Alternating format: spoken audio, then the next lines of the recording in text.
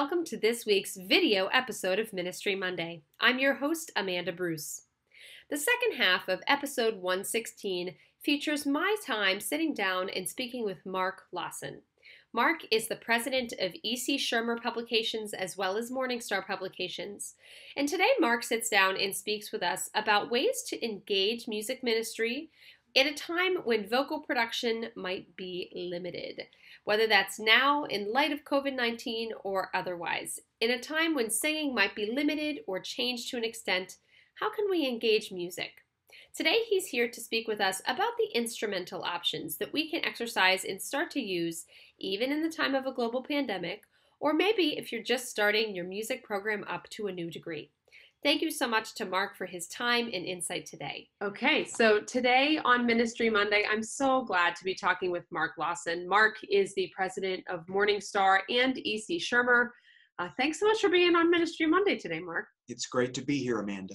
Thank you. Thank you. So, Mark, the reason that I asked you to be on this particular episode today is because, of course, the the conversation that we're having all the time right now is how does one minister without singing or to singing in a limited ability? Or um, what if one is limited in the instruments that they can use because of the um, spreading you know um, droplets and things like that? Sure. so where you know this episode really is focusing on thinking how to minister without singing in a different way still of course involving music and the spirit Mhm. so, you know, let me ask you too, in your experience at Morningstar and EC Schirmer, what are some of the ways that you see music being implemented safely during COVID 19 at this time? I think it's a very interesting question. It it so much of it depends upon the resources that you have, plus also the space that you are working in. You know, if it's a tight space that you have, you may not have as many options for the kinds of instruments that you can use. If you have a lot of space and can spread out, then almost any instrument can be used uh, safely at this point, uh, depending on what, what your space is. So um, we're seeing a variety of different things. Uh, I think that one of the things that people have to realize when they're doing, particularly doing online type worship, is that hymn singing is so different because people aren't actually singing. And so people, a lot of people are using instruments to do different stanzas of a hymn or using hymn arrangements of their instruments to substitute for choral music, hymn singing. It still gives the congregation that melody that they're used to hearing. They can sing it in their mind. They often can hear the words even as they're playing. So um, I think it's a great option. Um, obviously, I think at this point, strings are the safest of all the instruments, but um, I think you can use others safely as well. hmm Yeah, absolutely. I, I'm so glad you mentioned that because I have found that instruments, I think at some points we were kind of afraid to bring them back, but now I think we can. You know, I think it's like, well, we can test the waters and we can bring back our violinist, we can bring back our cellist, Yeah. if you will.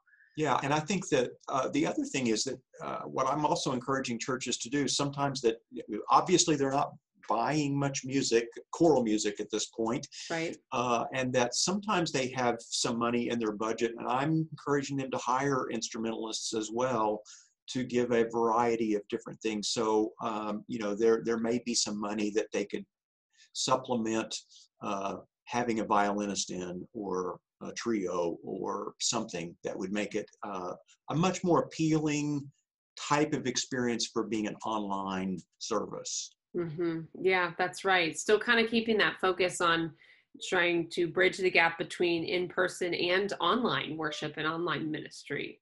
Mhm. Um, so let me ask you this then. Um, do you have any suggestions for parishes who would like to start implementing music that's not singing or vocal, like you said, but maybe they don't know where to start? I think that's important. I think that many instrumentalists, even the good instrumentalists, do not always have access to the kinds of publications that are appropriate for church use.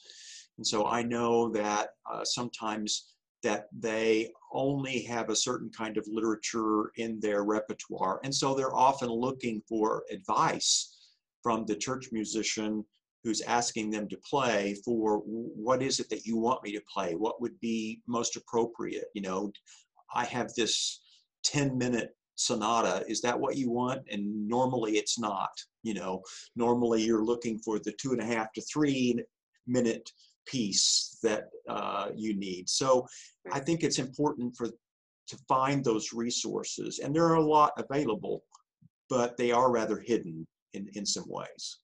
Mm-hmm. Yeah. I think the other thing is put the word out that you want instrumentalists. Instrumentalists need places to play and uh, really love to play. And so I have often found if I say, oh, you know, I really uh, would like to have a clarinet for this particular uh, service, that the flautist knows the clarinetists as well, you know, and, right. and that you can get people pretty easily by asking around. Mm-hmm. Yeah, that's a good point too. I think sometimes we're afraid to ask. Is it just yes. me? You know, I just. Yeah. Uh, okay, so then let me kind of bring it back to Morningstar. Excuse me, Morningstar. Are there any other resources or pieces of information that you would want us to know that might help us as we try to integrate and implement more instrumental music into the liturgy? Sure. I, I would say that First of all, we have a very large catalog of instrumental music, and I'll share my screen in a second and show you how to search for that. But I know that one of the things about it from the publishing standpoint is that it's some of the hardest music to actually market because every situation is different. Uh, different people have different ability levels. Uh, they may be looking for something with a flute. Oh, I know, or I have an oh, I have an alto sax player. I have that access, but I can't find that. So publishers often try to publish music uh, that's flexible to be used, and I can show you that uh, as well. So let me just show you if that's okay. I'll share yeah. my screen.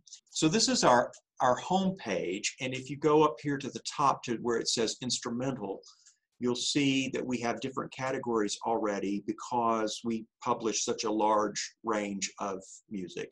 You probably would pick the sacred. When you go here, you'll see we also have things divided by woodwinds, brass strings, so you can start to narrow in. Over on the left is where things are um, filtered. And I will say that this is the part I would use the most uh, when I would do this. If you go to this popular instrumental searches, for example, this is where you're going to find, all right, I want an instrumental solo of some kind. Oh, I'm looking for a duet. Oh, I'm looking for a hymn descant. Um, these are the kinds of things that you might find to be helpful. I'm going to right now pick on instrumental solo.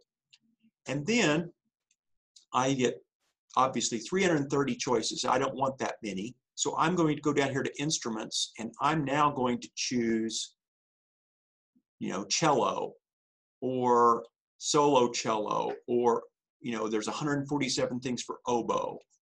Um, I can then, I can then start choosing my area. So if I choose my flute area, now I'm going to narrow in. Now I can even go down here and narrow in on my um, difficulty level if I want to.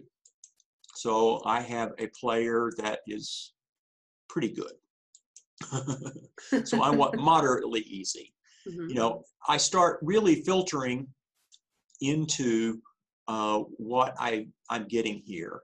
And you'll see that there's a lot of downloadable product as well, which people love for the instrumental things because often they're a week out. They've realized they have a flute next week. I'm afraid if I order my music, it's going to be two weeks to get here. So I want to do this. And often, if you click on it, you will find a preview page that will allow you to see if there's a recording, you can hear it, and it it helps a great deal. Um, so that is that's one thing I would point out. Another thing I would say is that we have these things called flexible instrumental solo collections. Yeah, I was going to ask you about that. So these are, what I mean by that is it means that often there's more than one instrument in the collection. I'm going to go back out. I'm going to show you a new one to show you what I'm talking about. Um, one that is very popular right now is this classic collaborations by Charles Callahan. In this collection, it is all classical composers that he's arranged in different um, different ways. So here are all the different uh, composers that are represented. And then there's a says solo treble instrument, but there's also a B flat instrument, a C instrument, a it's you can see at the bottom that the different ways that it's arranged here. Reproducible part for B flats available as well. Here's the C. Uh, you'll find each one of these has a different key or something like that so that you could play it with different ones. He, Callahan does this quite a bit and uh, provides multiple instrument options with some of his collections. So that's a very helpful thing to have because you don't know. This week I have a clarinet, next week I have a flute. Um, they could probably use the same collection and do it. There's, um, I'm going to just show you one other thing. There's a set of books called Organ Plus that Callahan did.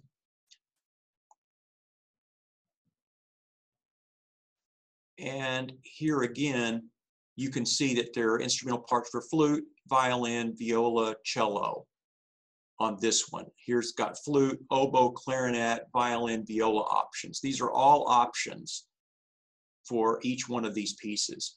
So it gives you complete flexibility. Um, another thing is strings are sometimes hard to find.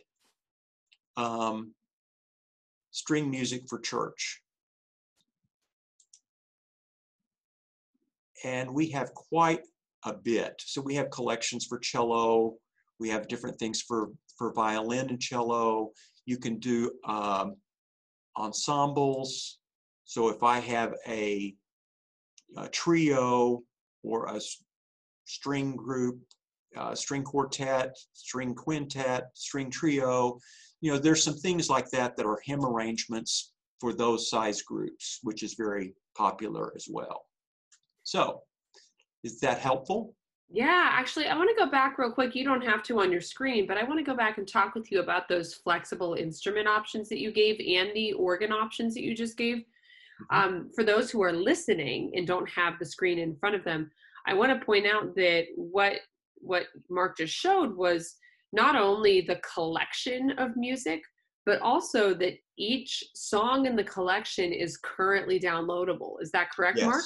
Yes. Yeah, I think that's a huge asset because, like you said, if you're a couple days out and you think, oh my gosh, I have to find something for a flute, but next week I'm going to have a violin but I got to be honest, I don't want to buy the whole book right now. I think I just want to start with the first song. Right.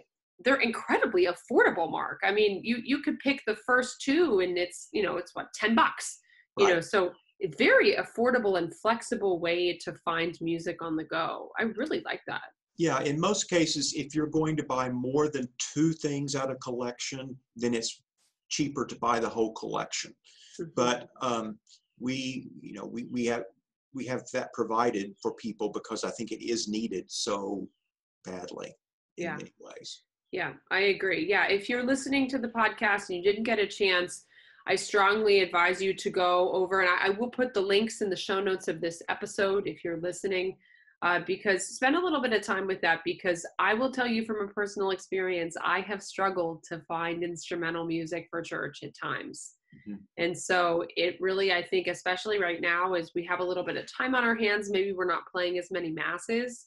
It's nice to spend, oh my gosh, even just a half hour exploring some of the resources like what you just showed. I think it'll pay back in spades. And, and in the next couple of weeks, we're going to be building a special web page that kind of features on some of those things as well because we know people are looking for that. Mm-hmm. And then um, we're also going to be focusing on the fact that I know that a lot of churches are starting to realize what Christmas is going to look like or Advent and Christmas. And so there are a lot of string options for that season in the catalog as well. So we'll focus in on that material so that it helps people kind of see what's there. We have a lot of things for harp for Advent, for example. If they can afford to have a harp, that's a great option. Nice. Okay, so again, especially for those who are listening, what's the general web address that you would want to direct them to? Morningstarmusic.com. Okay. And then go to the instrumental section. You'll find buttons at the top that that put you into the each section with different Okay. search functions in each one of those sections. Okay, great. All right, well, Mark, you have explored the world of instrumental music for churches in a lovely way today. Thank you for your time today, and thank You're you for thank you for all the effort that you're clearly doing to bring us options that help us engage ministers during this time and always, um, and and help give us some great options. So thank you so much. And let me just say, feel free to reach out to us. If you can't find what you want or find the kind of piece that helps you, send a message to our customer service uh, email and we'll respond quickly. Okay, great. And do you have that email address off the top of your head? Do you know? Uh, it is um, customer service at morningstarmusic.com. great. And it's great. also a link on our website. Perfect. Okay, great. Well, you heard it from Mark himself. Feel free to contact Morningstar if you need any uh, suggestions, but really go and explore their site. I know I will. So I know what I'm doing for the rest of the day. Oh, thank you.